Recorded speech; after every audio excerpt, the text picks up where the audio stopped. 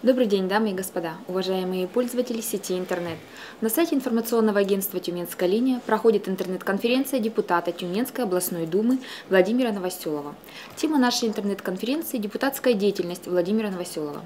Здравствуйте, Владимир Васильевич. Здравствуйте. А, первый вопрос от Владимира из Тюмени. Как оцениваете 2015 год? Все ли поставленные задачи удалось реализовать? Я думаю, что оценку дадут избиратели 2015 году моей деятельности, но должен сказать, что вот э, мы за 2015 год получили 298 обращений, как письменных, так устных и электронных. Э, должен сказать, что 190 7 э, обращений удовлетворено, а по 101 э, обращению дан, э, даны разъяснения, проведены консультации. Поэтому коэффициент полезного действия больше 50%. Это уже, считаю, что неплохо в этой ситуации. Удалось в 2015 году помочь э, в большей степени организациям э, общего образования, организациям дошкольного э, образования, здравоохранения. По здравоохранению свыше 2,3 миллиона рублей, по учреждениям образовательным тоже свыше 2,3. И по молодежной политике и спортивным нашим объединениям полтора миллиона рублей. Поэтому э, вот насущные проблемы, какие, с какими обращались к, э, к нам руководители вот этих организаций, они э, частично решены. А, спасибо. А Дмитрий из Тюмени интересуется, будете ли принимать участие в выборах 2016 года, и если да, то как выстроена ваша предвыборная кампания? Понятно. Не планирую э, участвовать в следующем. Считаю, что нужно уступать дорогу молодым, поэтому э, идет э, ротация депутатского корпуса в том числе, поэтому я принял решение, что я отработал э, срок, э, один срок, и считаю, что потрудился нормально, поэтому нужно дать другим молодым дорогу. А что больше всего вам нравилось в работе депутата? В работе депутата? Ну, э, конечно, это общение с избирателями, потому что вот э, центральный 17-й избирательный округ расположен прямо совпадает с границами центрального э, административного округа. На территории находится свыше 8 тысяч организаций различной формы собственности. И, конечно, вот очень важно, ходил, куда приглашали в организации, в школы, в дошкольные учреждения, учреждения э, дополнительного образования и вот общения э, с людьми у нас прекрасные люди, у нас прекрасные дети. В э, учреждении здравоохранения был, помогал э, людям, где-то заслуженным людям получить, э, отметить их наградами, в том числе и наградами Тюменской областной думы. Поэтому вот, наверное, самое главное, мне удалось пообщаться с населением. Спасибо. А следующий вопрос от Владимира из Тюмени. Он спрашивает, а как, с какими чаяниями обращаются к вам избиратели и можете привести конкретные примеры помощи? Помощи? Ну, конечно, могу. Э, должен сказать, что э, чаяние различное, но очень э, важно это сфера ЖКХ, с вопросами по ЖКХ обращается, с жалобами на недобросовестную деятельность управляющих компаний, Теперь э, благоустройство очень важная э, ситуация, и поэтому мы движемся вроде бы и неплохо в этом направлении, но все равно кто-то остается в этой части. Округ э, разделен на две части избирательной рекой Тура, поэтому были проблемы такого порядка. Э, в качестве наказов нужно было, чтобы мосты и э, расшивка произошла.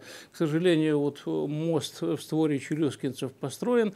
Не удалось построить мост пока, но он стоит в плане. Мост в створе улицы Мельника. Эти, эти два моста уже э, изработали свой ресурс практически нет. Поэтому почему мост по Мельникайте одновременно планировалось строить мостом в Суворе Челюскинцев, причина банальная, не прошел госэкспертизу проект строительства этого моста. Ну, сейчас вроде все в порядке, средства выделены, и мост будет строиться.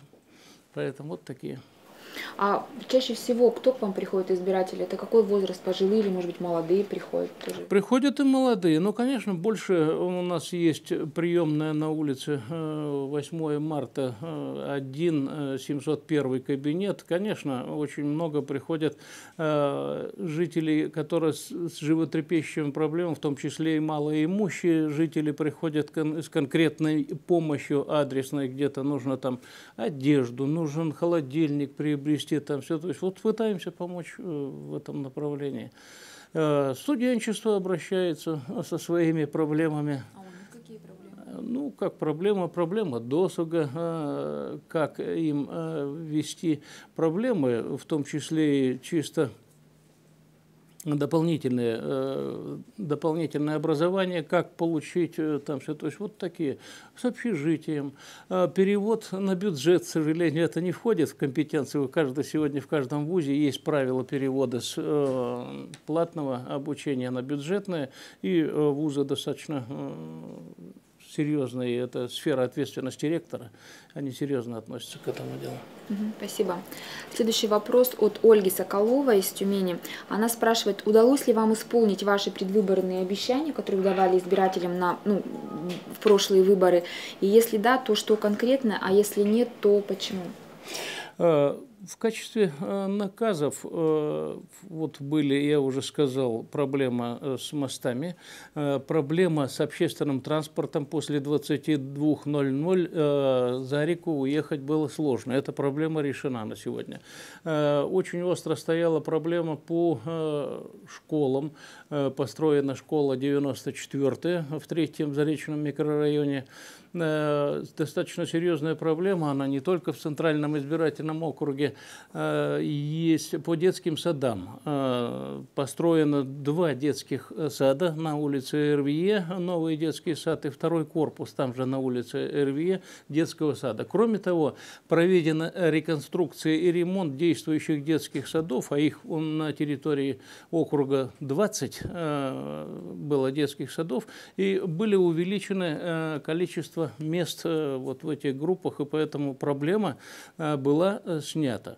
Одно из обещаний, предвыборных наказов, вернее, было такое, есть такая школа номер два, коррекционная школа, где учатся дети с ограниченными возможностями они э, давали наказ э, приобрести автобус. Мы э, один из первых наказов реализовали. Этот и ребятишки сегодня по городу, их собирают по городу, они на этом автобусе сегодня ездят. Кроме того, снос ветхого и аварийного жилья очень животрепещущий вопрос был. Тоже эта программа выполняется, и даже чуть-чуть впереди идет правительство Тюменской области здесь, поэтому, но все равно мы э, переводим э, то, что стояло на учете, появляются новые дома, которые становятся ветхими и которые подлежат сносу, поэтому проблема достаточно животрепещущая, но она решается. Поэтому большинство наказов, которое было, мы постарались выполнить. Спасибо.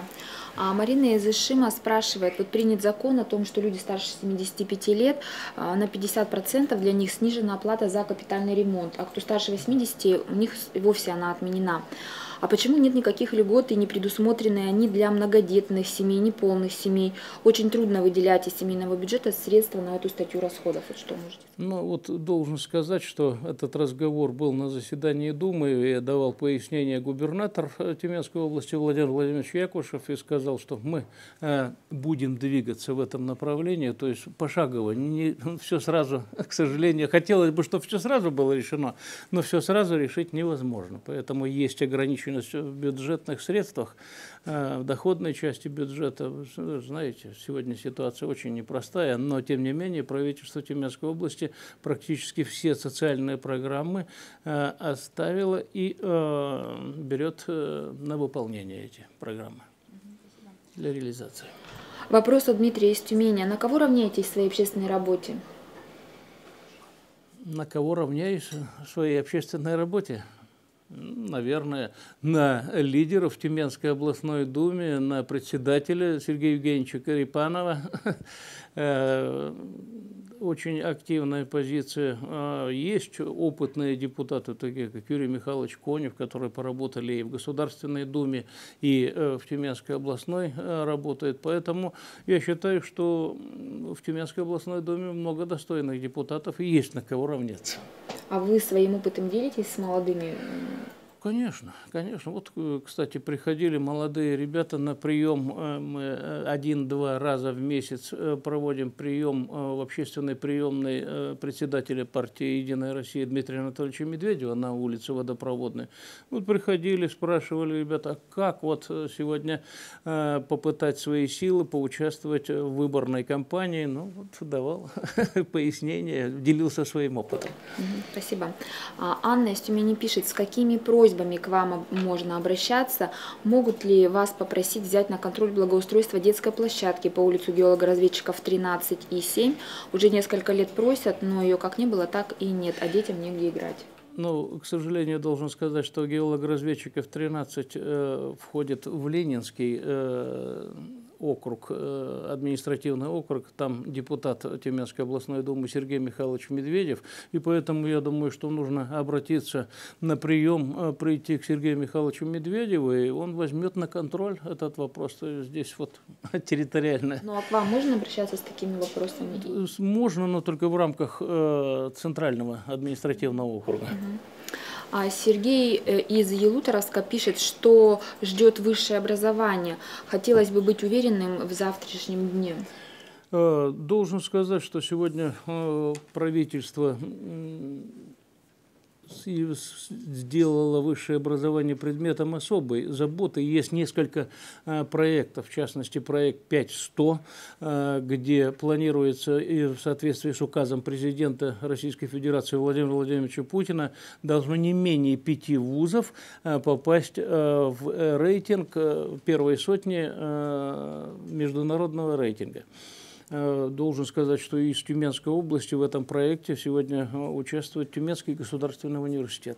Кроме того, э, наверное, знает, что произошло объединение Тюменского нефтегазового университета и Тюменского архитектурно-строительного университета, и появился объединенный Тюменский индустриальный университет, который получил статус опорного вуза, и тоже предмет особого внимания.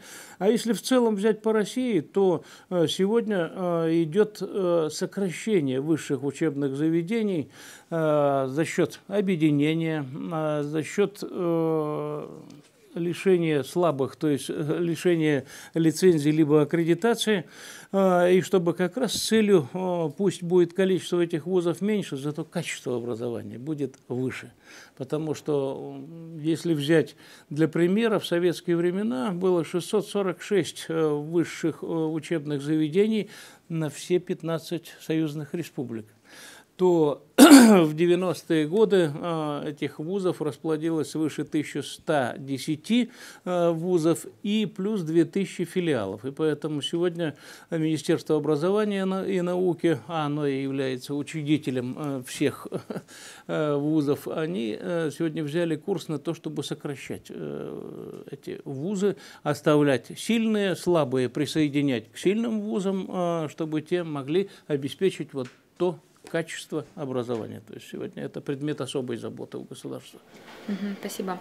А, вопрос тут Василия из Тюмени. А отслеживаете ли вы, как работают предприятия в непростое сейчас экономическое время в Тюмени, которые находятся на территории вашего избирательного округа? Отслеживаю, мы общаемся. Сегодня, допустим, э, холдинговая компания, фонд, э, достаточно тесно работаем, Атлант, Авто, э, генеральный директор Распутин, с ними общаемся. Химфарм завод сегодня работает на территории, поэтому непростое время, но есть основания, э, скажем так, для паники основания нет, а есть э, основания для сдержанного оптимизма, я бы так сказал.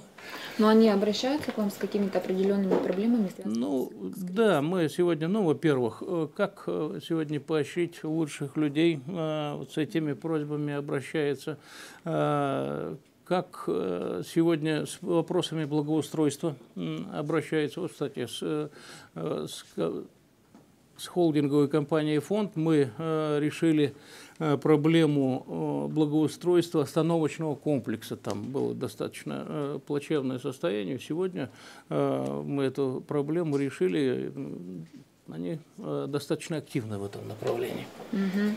А, Валентина из Тюменского района интересуется. Вот в этом году все только говорят о паводке.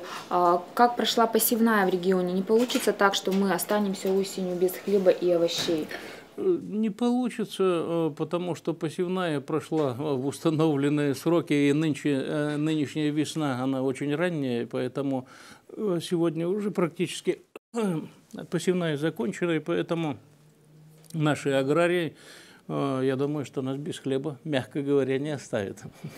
А, Леонид интересуется, вот когда вы обсуждаете бюджет области а, на следующий год, ориентируетесь ли вы на курс доллара и чего ждать от валюты в этом году? Ну, э, чего ждать от валюты в этом году, вопрос э, сложный. Есть множество экспертов, которые говорят, сегодня курс доллара, конечно, практически привязан к цене на нефть, к биржевой цене на нефть. И поэтому мы зависим, к сожалению, вот от этого. Э, сегодня будет расти цена э, на нефть, э, значит, будет падать курс доллара. Если не будет этого, то есть трудно сегодня произвести. Есть разные оценки, и я думаю, что истина здесь вряд ли где-то кому-то удается э, достичь вот этой истины в своих прогнозах. Что касается обсуждения бюджета, то бюджет Тюменской области, он э, в рублевом, э, в рублевом эквиваленте и не привязывается, задается правительством Российской Федерации. Вот прогноз, я знаю, что 50 долларов за баррель нефти э, был взят курс, к сожалению, мы пока только вот, вот сейчас где-то 49, 49, 82, по-моему, на сегодня э, баррель э, стоит, поэтому надо надеяться на лучшее. А следующий вопрос от Олега из Тюмени. Многие депутаты от партии «Единая Россия» являются координаторами различных проектов партийных. А какой проект курируете вы?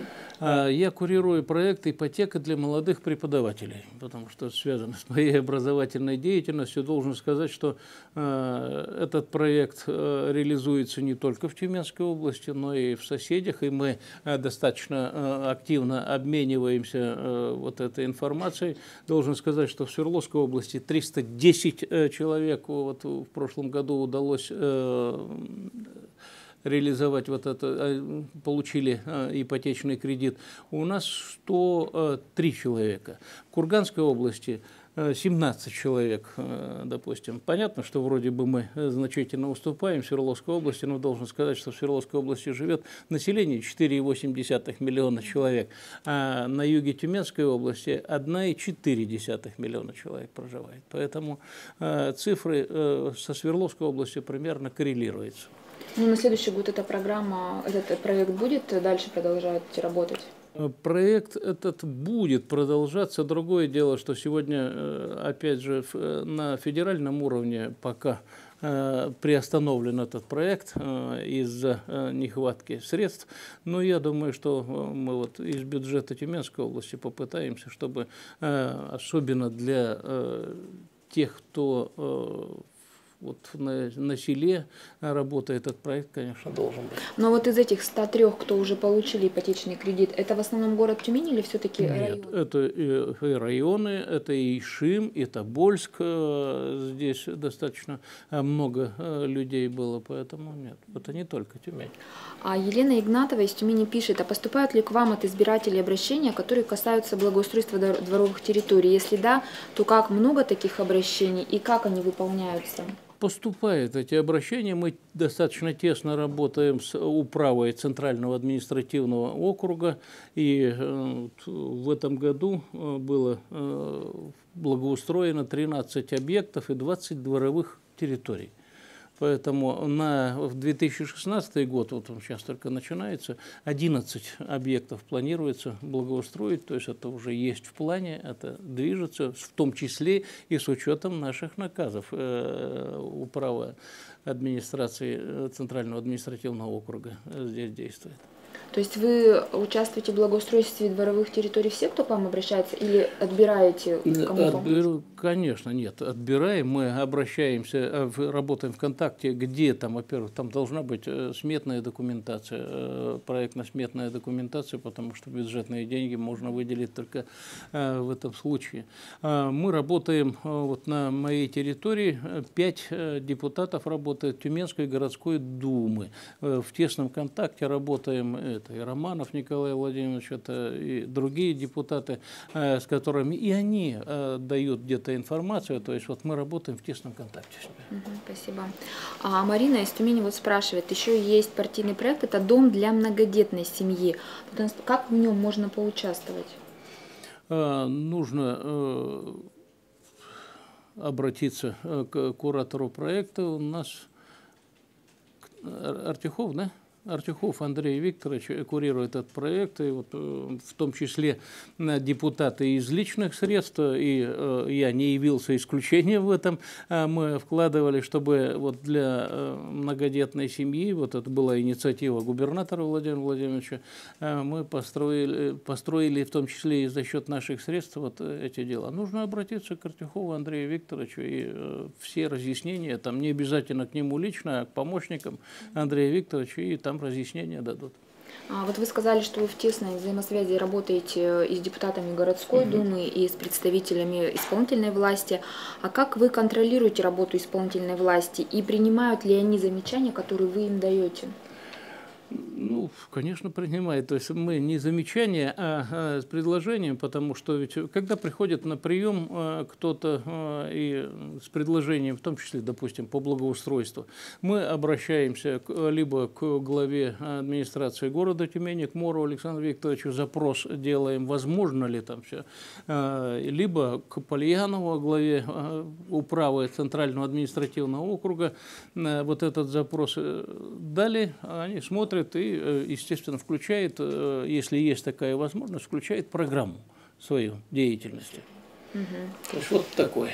Антонина из Тобольска интересуется а, вот вы часто вашу партию «Единая Россия» обвиняют в притеснении оппозиции. А как выстроена работа в областной думе с другими фракциями? И есть ли у них возможность высказывать свое мнение? Ну, э, во-первых, конечно, все э, равны, каждый депутат, независимо от партийной принадлежности, имеет право голоса, в том числе и на заседании комитетов, и на пленарном заседании Думы, и у э, всех есть э, возможность вносить предложения по изменению законов, по разработке новых законов, и такие, в принципе, вещи есть, потому что э, я думаю, что немножко, в том числе и средствами массовой информации, эта э, тема чуть-чуть преувеличена, что тут вот такие единороссы прижимают. Нет, такого нет, конечно. По крайней мере, я не видел. И если есть какие-то предложения там у справедливоросов или там у, ком, у Компартии Российской Федерации, либо у либерал-демократов, то эти предложения всегда рассматриваются. Другое дело, что э, принимаются они или не принимаются, там надо э, смотреть эти возможности.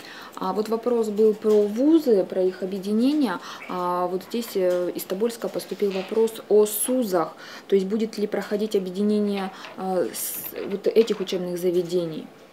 Ну, э, сегодня сказать э, сложно, но э, должен сказать, что сегодня это предмет заботы субъекта Федерации Тюменской области.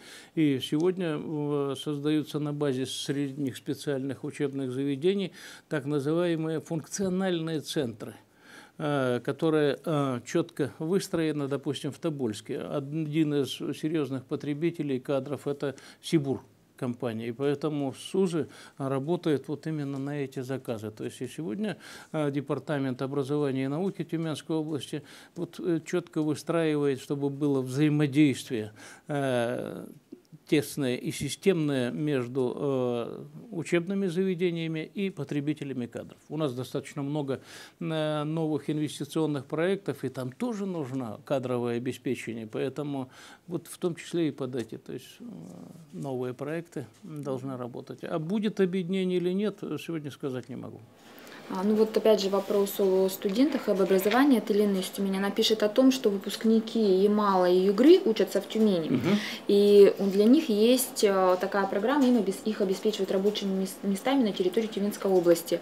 А вот есть кого-то для тюменских э, студентов, э, которых тоже будут трудоустраивать? Значит, что скажу по этому поводу? Во-первых, каждый вуз сегодня имеет обязанность распределения э, молодых специалистов. Для этого выстраивается э, договорная деятельность с предприятиями, потребителями кадров. Э, больше того, должен, хотел бы сказать, что правительство Тюменской области, те, кто сегодня не смог найти рабочее место, то определяет и финансирует стажировку этих выпускников, где он там стажируется, у него пока есть возможность, и он получает какое-то вспомощество существование э, материальное, то есть стажируется и э, уже под конкретное место, где бы там он мог найти работу. Сегодня эта проблема достаточно животрепещущая, особенно э, многие э, ребята приходят на такие на образовательные программы, как государственное муниципальное управление, финансы кредит и так далее. То есть легко учиться там все, но э, сегодня потребность в этом, в этих специалистах, она ограничена, и поэтому вот они создают дополнительное напряжение, поэтому здесь нужно сразу думать о том, а куда закончив вуз, э, где можно найти место. Поэтому, как говорится, задачу нужно решать с конца.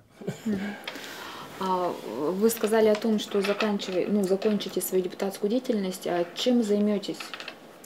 Э, ну, во-первых, занимаюсь наукой, занимаюсь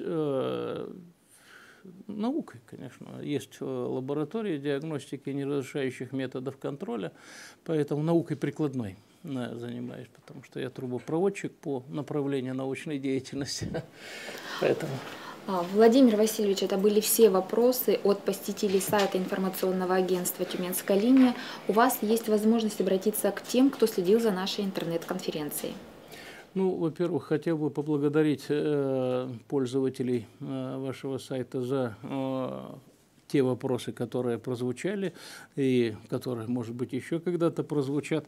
Хотел бы пожелать э, избирателям у нас этот год э, выборный, чтобы они сделали правильный выбор и выбрали депутатов, в том числе э, и Тюменской областной думы, и Государственной думы, те, которые могли бы эффективно на своих уровнях решать те проблемы, те задачи, которые стоят перед э, Тюменской областью. С одной стороны, мы вроде бы успешный регион, мы там по многим направлениям э, деятельности ниже пятого места не опускаемся, но не нужно останавливаться и успокаиваться на достигнутом, нужно двигаться вперед, нужно двигаться вперед. А для этого нужны усилия всех э, ветвей власти, в том числе и э, представительной власти, я имею в виду Государственную Думу и областную Думу, и исполнительной власти. Спасибо, до свидания. Спасибо.